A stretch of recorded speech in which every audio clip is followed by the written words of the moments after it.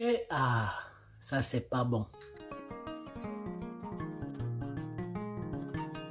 Le 4 juin 1915, à Bamako, Koura, un petit quartier de la ville de Bamako qui était à ce moment-là la capitale du Soudan français, le couple Kamara, Bada et Fatoumata accueille un beau petit garçon. Il lui donne le nom de Mojibo Keita. Il ne s'imaginait pas qu'à ce moment-là, il venait de donner naissance à l'un des plus grands leaders africains. Bienvenue dans ce nouvel épisode de Histoire raconte et comme tu l'as compris, aujourd'hui, on va faire une petite capsule sur la vie de Modibo Keita. Avant, euh, si tu ne t'es pas encore abonné, je ne sais pas ce que tu attends. Il y a la cloche là qu'il faut activer. Hein. Comme ça, dès que Fengbeck, tu reçois la notification. Partager les vidéos, c'est bien parce que tu partages aux gens et ils partagent aux gens, c'est bien. Et quand tu likes aussi, apparemment, ça c'est bien. Modibo Keita suit son parcours scolaire tranquille comme tout le monde. C'est vrai que c'est un beau gosse, donc euh, les filles l'aimaient bien. Bon, ça, ça c'est moi qui ai ajouté. Tu vois, oui. Mais bref, il poursuit ses études et en 1934, il s'en va donc, euh, il quitte le Soudan, le Soudan qui deviendra le Mali, quitte le Soudan pour aller à Dakar à l'école William Ponty ou l'école normale supérieure. Ce qui est bien à l'époque, c'était que après l'école primaire, c'était l'école normale qui te formait un boulot. Tu vois, c'était rapide. Il finit son école normale supérieure, une école d'instituteurs. Et ces enseignants ont fait un truc que j'ai trouvé drôle, tu vas retrouver partout, c'est qu'on a mis une note dans son bulletin, dans son, sur son diplôme. On a dit que élément très bon, très bon instituteur, il était major de sa promotion. Mais c'est un agitateur anti-français à surveiller. Et tu vois ça à l'époque, c'était grave. C'était grave. C'était grave. Regarde la carrure. Il ne pouvait pas avoir peur des, petits gens de l'hiver. Hein? En 1946, on l'a carrément arrêté parce qu'il était dans le RDA, qui était un parti qui regroupait beaucoup de leaders africains, le Rassemblement démocratique africain. Et c'était des leaders panafricanistes. Tu avais Oumiobe, qui était le responsable de ce parti au Cameroun. Tu avais aussi beaucoup de leaders africains et tu avais certains leaders un peu coupés, décalés. Tu vois, donc il est là, mais plus tard, il va couper, il va décaler. Décaler, décaler. Quand De Gaulle veut donner l'indépendance pour fragiliser les pays africains, il vient avec une tactique de donner l'indépendance à beaucoup de petits pays sous le contrôle de la communauté française. Une communauté bizarre parce que tu as un pays d'un côté et tu as beaucoup d'autres.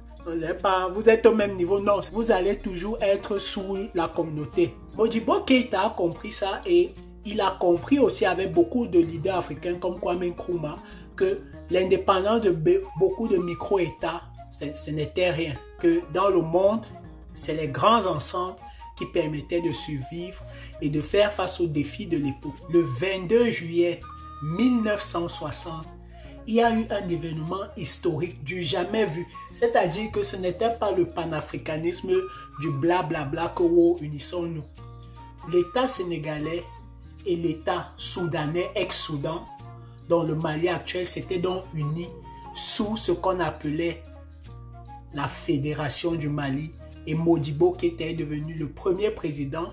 Léopold Sédar Senghor était donc président de l'Assemblée et c'était un jour historique.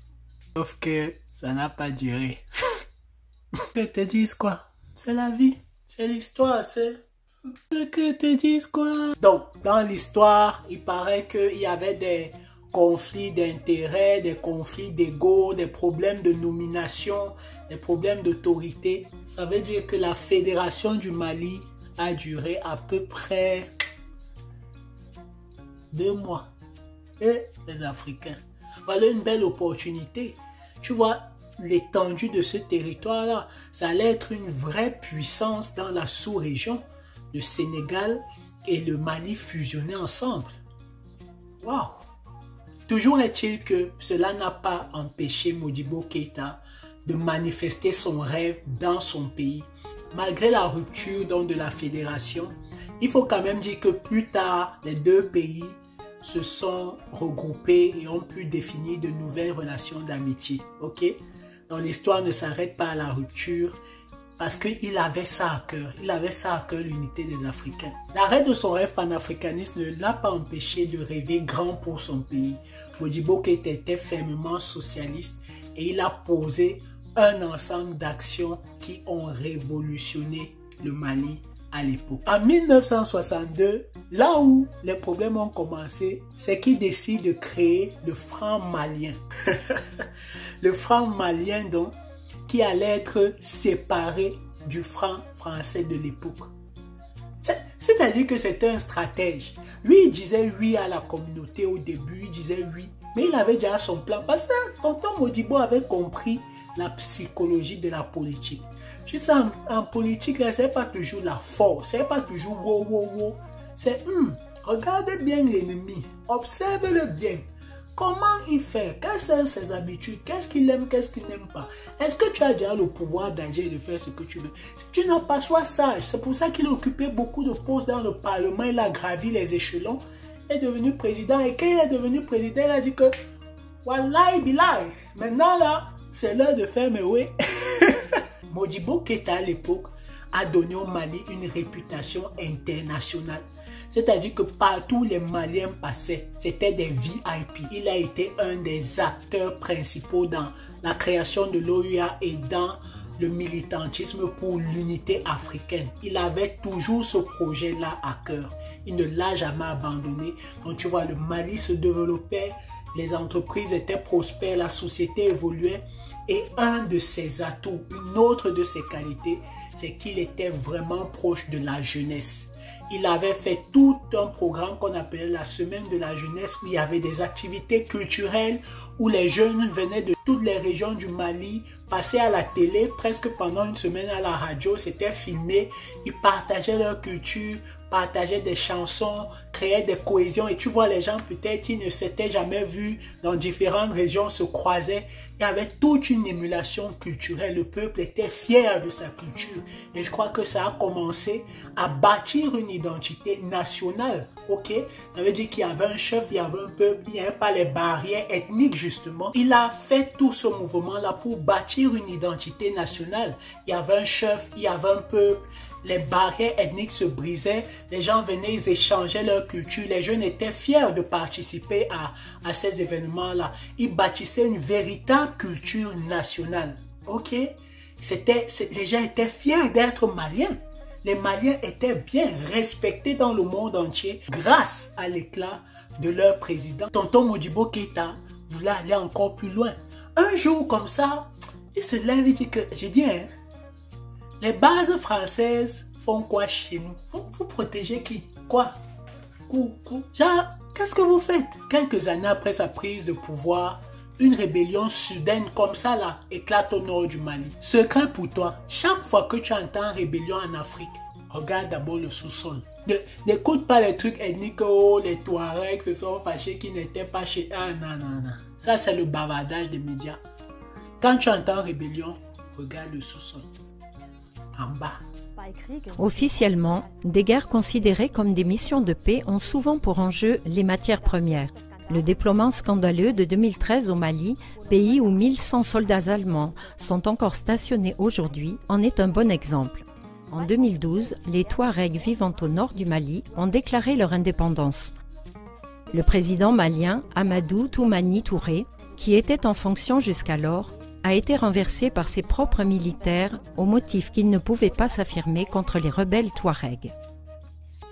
Ce coup d'État militaire a été perpétré par des officiers formés aux États-Unis. Le journaliste et écrivain reconnu Michael Grant révèle le véritable contexte dans lequel le gouvernement malien a été renversé pour obtenir de l'or, de l'uranium et les autres ressources minérales de ce pays, désespérément pauvre.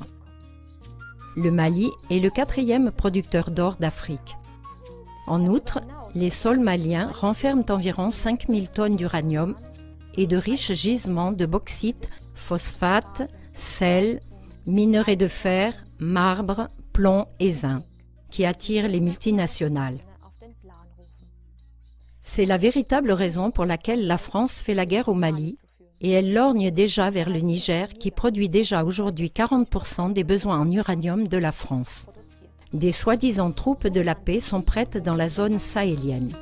Quiconque cherche dans les médias principaux des reportages à ce sujet ne trouvera rien. D'après toi, les bases militaires dont ils voulaient étaient situées où? À l'est, à l'ouest, au nord, au sud? Quand il entre, regarde le sous-sol.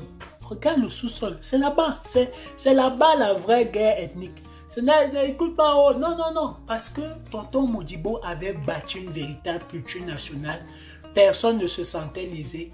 Personne ne se sentait rejeté. Mais dès le moment, dès le moment où il a dit que les bases françaises, il ne les veut plus, hmm, ça, n'était plus bien. Les gens étaient plus contents.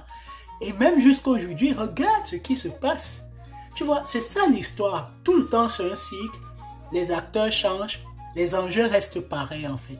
Donc, il ne faut pas être Einstein hein, ou Cheikh Anta Diop. c'est mieux. Il ne faut pas être Cheikh Anta pour comprendre que quelqu'un qui aime son pays, qui met les jeunes en lumière, qui fait sortir sa propre monnaie, fait rayonner la culture de son pays dans chaque région, qui en plus parlait un très bon bambara, hein. Quelqu'un qui fait tout ça. En plus, quelqu'un qui dit aux gens là que bon, vos bases là, est-ce que vous pouvez partir avec et qui a un sentiment nationaliste à créer des sociétés d'État, à faire briller son pays? Tu comprends qu'à un moment, ça ne plaît pas à tout le monde. Ça plaît au peuple, mais pas à tout le monde, malheureusement.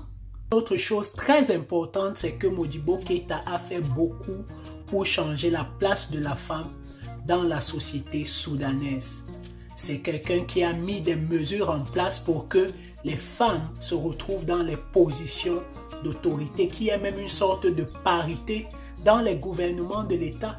Je te parle des années 1960. C'était, c'était, révolutionnaire en fait. C'était révolutionnaire ce qu'il faisait. Culturellement, la place de la femme, l'indépendance. Ah, ouais, c'est pour ça que les Maliens pleurent toujours jusqu'à aujourd'hui, tonton Modibo Keita. Et c'est là où j'arrive à la partie qui m'énerve dans l'histoire. Parce que je ne comprends pas. Et tu veux mon avis, c'est l'un des plus bêtes coups d'État que moi j'ai vu dans l'histoire de tout. Oui, il y a toujours quelqu'un qui finit par te trahir. Mais ce coup d'État est bête.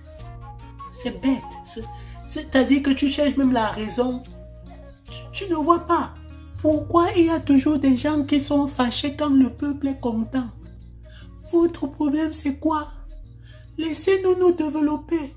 Votre c'est quoi? Vous êtes obligé de trahir. Vous êtes obligé d'avoir le pouvoir. Ça fait un coup d'état bête. C'est bête. C'est même quoi? Quelle que soit la, la raison. Pourquoi? Pourquoi?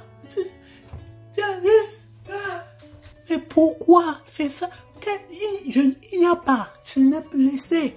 Oui, que euh, aussi euh, ses opposants se plaignaient parce qu'il les emprisonnait et puis la démo. Ah ah ah ah ah ah, laissez-les, laissez-nous. Tu, tu t'opposes quoi? Tu t'opposes quoi? Le peuple est content, tu t'opposes quoi? Hein? Ah, vous me faites même perdre ma voix. Pourquoi vous avez fait ça, Papa Modibo? Pourquoi? Pourquoi? Ouais, pourquoi? Pour justifier le coup d'État euh, qui arrive le 19 novembre 1968, donc Papa Modibo n'a fait que 8 ans au pouvoir parce que bon, dit que oh, le peuple était déjà mécontent, machin. Il y a toujours des gens qui parlent au nom du peuple. Après, quand eux-mêmes prennent le pouvoir, on ne voit pas ce qu'ils font pour le peuple. Toi, tu as pris 25 ans, tu as fait quoi? Tu as fait quoi, fait Toi, tu as été alors la vraie dictature, même c'est sous toi. Et comme d'habitude, toi là, hein, oui, tu sais de quoi tu... Oui, oui, toi qui as enlevé Papa Modibo, tu as pris le pouvoir, tu es toujours... Vous essayez d'effacer les gens de l'histoire. Comment tu veux effacer quelqu'un de l'histoire? Bon, à la fin de ta vie, tu as dit que oh, tu crois a beaucoup en Dieu, tu as changé, tu es devenu un sage. Ok, on respecte. Mais dans l'histoire, pourquoi? Dis-moi pourquoi. Papa Moussa, pourquoi? Mais plus sérieusement, le 19 novembre 1968, on fait un coup d'État à Modibo Keita. Il n'était pas dans la capitale. Et ça, c'est un autre truc qui m'a marqué sur l'homme. Il était d'un petit village en train justement de faire un discours pour évaluer euh, la révolution et tout. On l'appelle et on lui dit, président, il y a un coup d'État qui se passe. On lui propose de fuir, de partir. Il dit que non. Il a premièrement désarmé toute sa garde rapprochée et il a dit qu'aucune goutte de sang ne coulera pour Modibo Keita. Wow. Il décide donc, parce qu'on lui a dit de se rendre, il décide de se rendre lui-même. Il est rentré à Bamako, il est rentré à la capitale. Il a fait un dernier discours pour dire quelque chose aux jeunes. Et il leur a dit, le Mali, ce n'est pas le Mali de Modibo Keita.